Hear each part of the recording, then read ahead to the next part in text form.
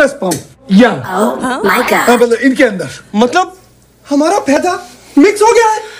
पैदा कैसे आप सब? दोस्तों स्वागत है आपका अपना चैनल पीएमसी मीडिया में। दोस्तों अगर आप फ़िल्मों के बारे में हर अपडेट पाना चाहते हैं तो हमारे चैनल को कर लें सब्सक्राइब और बेल आइकन को ज़रूर दबा दें। दोस्तों आज की इस वीडियो में बात करेंगे गुड न्यूज़ के दूसरे दिन तक बॉक्स ऑफ़िस कलेक्शन के बारे में।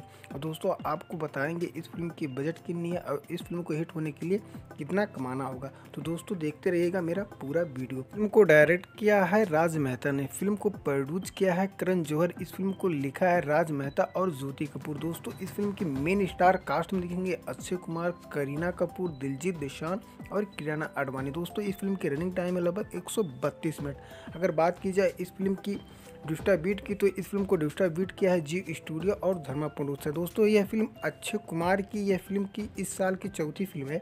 इससे पहले ऑलरेडी इनकी तीन फ़िल्में रिलीज़ हो चुकी है और तीनों ने काफ़ी ज़बरदस्त बॉक्स ऑफ़िस पर कलेक्शन किया पहले नंबर पर आती है केसरी। केसरी ने पूरे इंडिया में लगभग 150 करोड़ का आसपास बिज़नेस किया। वहीं दूसरे नंबर पर आती है मिशन मंगल मिशन मंगल भी सुपर डुपर हिट हुई थी। इस फ़िल्म ने वर्ल्ड वाइड में कलेक्शन किया था लगभग ढाई सौ करोड़ के आसपास।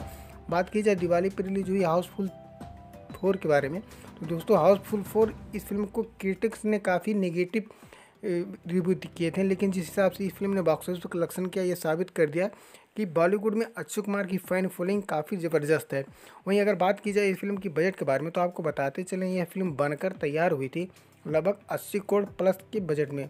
और इस फ़िल्म की अगर स्क्रीनिंग की बात की जाए तो आपको बताते चले इस फ़िल्म को इंडिया में लगभग पैंतीस सौ स्क्रीन मिले हैं।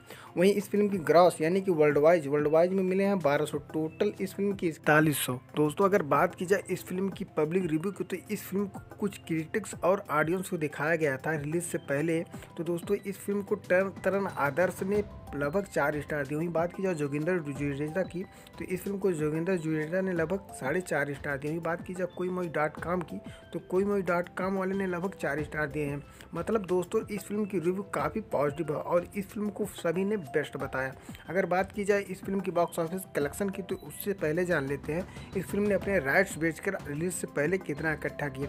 तो आपको बताते चले, इस फ़िल्म के राइट्स भी गए थे लगभग चालीस करोड़। वहीं बात की जाए डिजिटल राइट्स की तो इस फ़िल्म की डिजिटल राइट्स गए थे तीस करोड़ में म्यूज़िक राइट्स भी गए थे पंद्रह करोड़ में। दोस्तों, इस फ़िल्म ने रिलीज़ से पहले ही लगभग इकट्ठा कर लिए थे लगभग पचासी करोड़।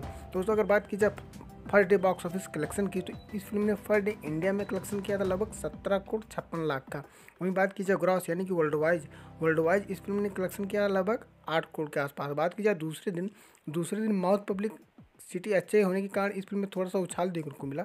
दूसरे दिन इस फ़िल्म ने इंडिया में कलेक्शन किया लगभग बीस करोड़ चालीस लाख का। वहीं ग्रॉस कमाया है लगभग सात करोड़ पचास लाख का। टोटल दो दिनों में इस फ़िल्म की इंडिया और वर्ल्ड वाइज कलेक्शन होते हैं तिरपन करोड़ छप्पन लाख का।